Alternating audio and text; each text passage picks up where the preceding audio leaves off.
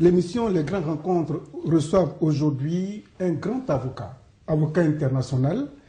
Cet avocat qui se préoccupe de tout ce qui est question africaine et droit africain.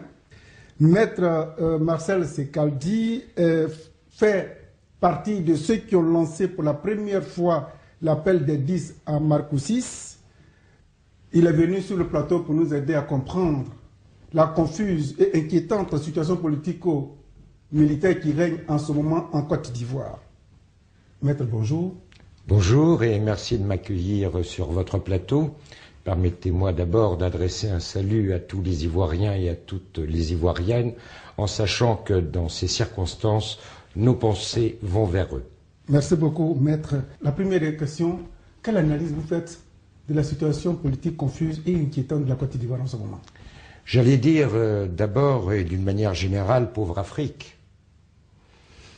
Quel est le continent auquel l'on va soumettre une telle palinodie de la part euh, de la communauté internationale dont on parle? La communauté internationale, l'avez-vous rencontrée vous-même? Moi, je ne l'ai jamais rencontrée. C'est une femme sans tête. Elle a eu comme porte-parole un fonctionnaire, M. Ben Ki-moon. Le secrétaire général des Nations Unies, je vous le rappelle, n'est qu'un fonctionnaire. C'est le primus inter partes à l'intérieur des fonctionnaires des Nations Unies, mais il n'est que fonctionnaire. Ce fonctionnaire n'avait ni l'autorité, ni le droit, ni le pouvoir, ni la légitimité de prendre parti dans le cadre de la procédure électorale mise en place en Côte d'Ivoire.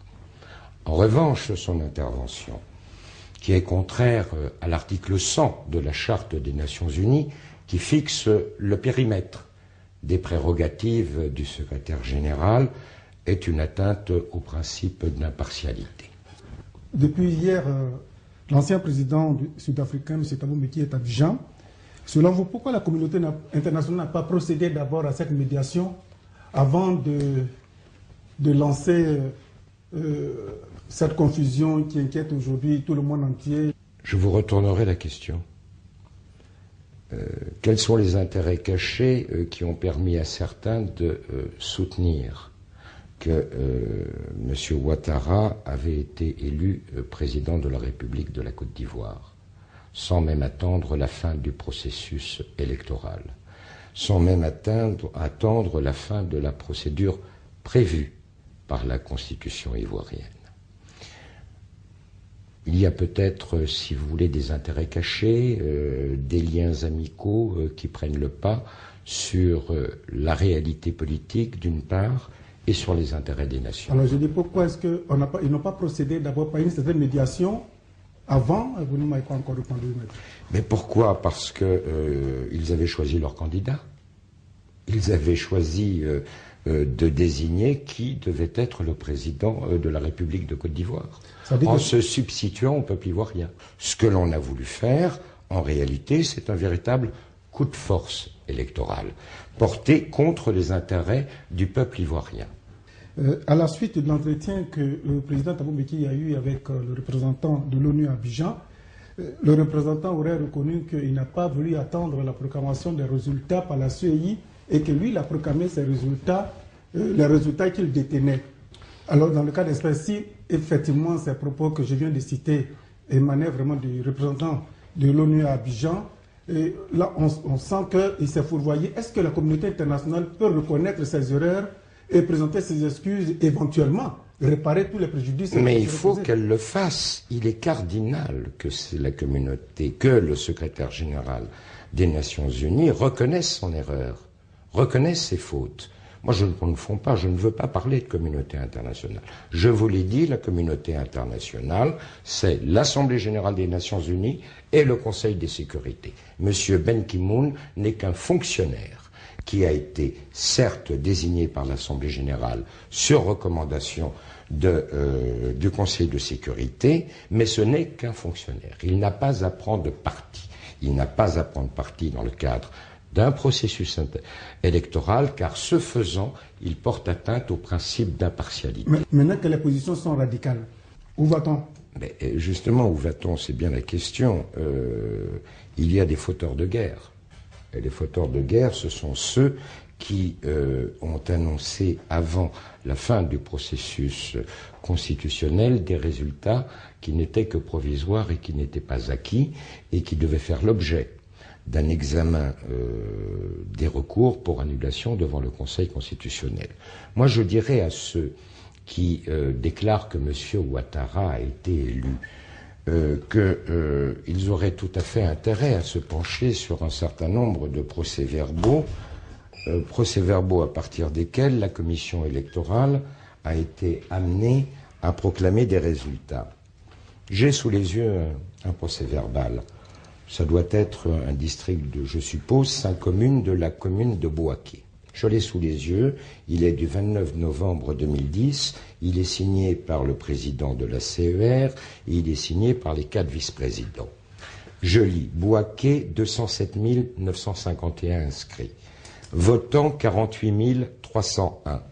Votant non inscrits dans les, dans les bureaux de vote et ayant voté, 2761. Je fais d'ailleurs remarquer déjà que là, il y a une contravention à la loi électorale ivoirienne. Ne peuvent voter, et c'est la règle de la démocratie, que les électeurs qui sont inscrits sur les listes électorales. Les gens qui ne sont pas inscrits sur les listes électorales ne peuvent pas voter. Là, on a recensé les gens qui, n'étant pas inscrits sur les listes électorales, ont moins voté. Suffrage exprimé. 159 788. Alors, j'aimerais que l'on m'explique par quelle opération du Saint-Esprit 48 301 votants peuvent donner corps à 159 788 suffrages exprimés. Alors ceux qui se sont appuyés sur les proclamations de la CUI, je leur dirais tout simplement que la Cour suprême des États-Unis, à qui l'on communiquerait ce procès verbal, viennent nous dire s'il est valide ou s'il est non valide. Que... le Conseil constitutionnel français, en face d'un tel procès verbal, vienne nous dire ce qu'il ferait. Bon, alors, M. Soro Guillaume est à nouveau le premier ministre de M. Alassane Draman Ouattara, président de l'autre camp. Oui. Euh, euh, est-ce que, maître, ce n'est pas là le signe patent d'une reprise des hostilités en Côte d'Ivoire? Et à la fois, il est ministre de la Défense. moi, je, si vous voulez, euh, intervenir dans les affaires intérieure ivoirienne, euh, mais délicat, ce que je pourrais dire tout simplement, simple constatation. Hein.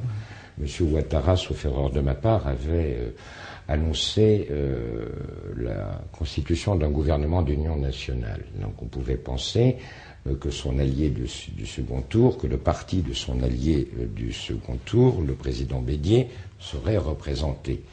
Je m'aperçois que M. Ouattara a désigné M. Euh, Soro. Si j'étais ivoirien, je dirais que les masques sont tombés et euh, que c'est la reconstitution d'un tandem de putschistes. Alors, euh, maître, est-ce que vous connaissez bien la Côte d'Ivoire? Je la connais un peu, oui, oui, oui. Je la connais un peu. J'ai eu une de mes parentes, mais ça remonte à quelques années, qui a été enseignante en Côte d'Ivoire. Vous intervenez au nom du droit ou bien vous intervenez parce que vous avez un penchant pour euh, non, si vous voulez, moi je n'ai pas de penchant, je n'ai pas de penchant pour quiconque, mais euh, je n'accepte pas l'injustice et je n'accepte pas, si vous voulez, qu'il y ait un double standard de justice. Et euh, que tant que l'on se gargarisera d'état de droit et de démocratie, alors que l'état de droit dont se prévalent certains et les règles démocratiques dont qu'ils font, auxquelles ils font constamment référence, ne sont en réalité qu'un euh, moyen de pression du fort sur le faible, je le trouve inacceptable. Les observateurs internationaux qui vont souvent en Afrique pour euh, observer les différentes élections, en tant qu'avocat, euh, comment, sur le plan du droit, comment vous les qualifiez? Mais écoutez, tout ça, c'est très complexe. Vous avez remarqué que l'Union africaine s'est immédiatement rangée sur les déclarations faites par Ben Ki-moon. Regardez la chronologie. La chronologie, d'ailleurs, est extrêmement intéressante. Le premier à avoir euh, déclaré que Alassane Ouattara était élu est le secrétaire général des Nations Unies. Il a été immédiatement suivi par une déclaration de l'administration américaine, qui elle-même a été suivie d'une déclaration du président Obama. qui ensuite a été suivi d'une déclaration du président Sarkozy. Alors que je vous fais remarquer que, l'issue du premier tour, et même dans les heures qui ont suivi le second tour, les mêmes appelaient les différents intervenants à suivre le processus électoral et à déposer les moyens de recours utiles devant le juge des élections qu'est le Conseil constitutionnel. Ce n'est pas la commission électorale. La commission électorale est une autorité administrative. Elle n'est pas le juge de l'élection. Le juge de l'élection est le Conseil constitutionnel. Et que lorsque le Conseil constitutionnel s'est saisi, ainsi que la loi organique le prévoit, ainsi que cela est prévu par la Constitution, c'est à partir de ce moment-là que les déclarations ont été extrêmement fermes. Euh, Alassane Ouattara a été élu. Bien. Donc, euh, c'est très exactement euh, une politique qui de fort avec les faibles et de faible avec les forts.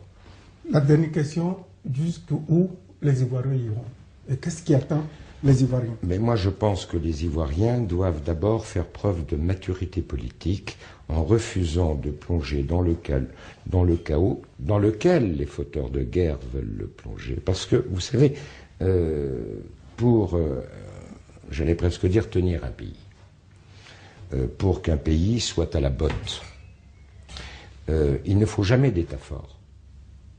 Il faut un État faible les intérêts privés euh, mondiaux et mondialistes surfent sur le désordre. Eh bien, il faut que les Ivoiriens fassent preuve de maturité politique et qu'ils montrent par le comportement qu'ils ne pas, qu'ils ne tomberont pas dans le piège qu'on leur a tendu. C'est pas le piège que l'on a tendu euh, à tel ou tel candidat, c'est un piège que l'on a tendu à l'ensemble des Ivoiriens. Les Ivoiriens sont, une nation. Les Ivoiriens ont de tout temps eu une structure étatique importante, et bien qu'ils se réfèrent à leur passé, à leur histoire, à leur conscience collective, pour dire non au chemin dans lesquels on veut les engager. Est-ce que vous pensez que M. Ouattara et M. Gbagbo vont accepter de s'asseoir euh, autour du même table pour négocier Écoutez, euh, je pense que ce serait la solution sous euh, l'égide du président Thabo Mais il faut que, euh, à ce moment-là, ceux qui se sont déterminés rapidement, le secrétaire général des Nations Unies, le président Obama et le président Nicolas Sarkozy, acceptent l'intermédiation du président Thabo Mbeki. Ce n'est pas à eux, ce n'est ni au président Obama, ni au président euh, Sarkozy, ni au secrétaire général des Nations Unies de dire quel est le candidat élu. Ce n'est pas à eux d'imposer leur candidat. C'est aux Ivoiriens de, choisir leur candidat et c'est au médiateur Thabo Beki de trouver la solution alternative la plus conforme aux intérêts du peuple et de l'État ivoirien.